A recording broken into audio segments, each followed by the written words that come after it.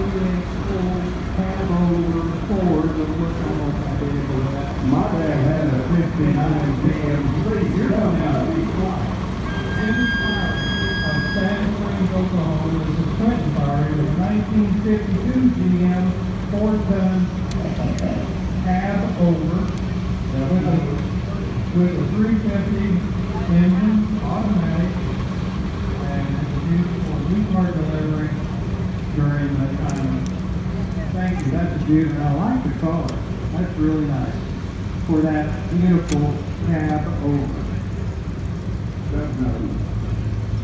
James Jacobs from Fort Cobb, Oklahoma, on a nineteen thirty Rumely convertible.